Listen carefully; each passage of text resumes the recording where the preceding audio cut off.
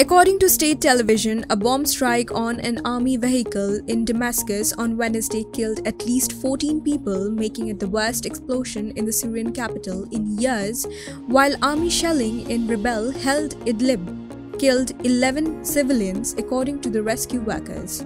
According to the Syrian Observatory for Human Rights, the assault on the rebel held town in Ariha, which occurred soon after Damascus bombing, resulted in the worst civilian death toll in the Idlib region since March 2020.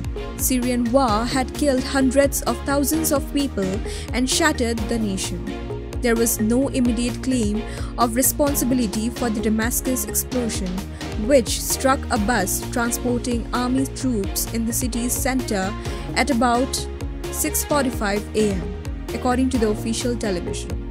There was no immediate claim of responsibility for the Damascus explosion, which struck a bus transporting army troops in the city's center at about 6:45 a.m., according to the official television. According to a military source cited by the state media, the bus was blown up by two explosives that had been pre-attached to the vehicle. The army engineer team defused a third bomb. Syrian state TV shared pictures of bus's burnt cabin on its Telegram channel and rescue personnel could be seen retrieving human pieces. The assault occurred as the bus passed along a bridge named after the president Hafez al-Assad, the father of current president Bashar al-Assad who died in 2000. We will pursue the terrorists who penetrated this terrible murder wherever they are, stated the Interior Minister Mohamad al-Rahman, according to the state media. Bye.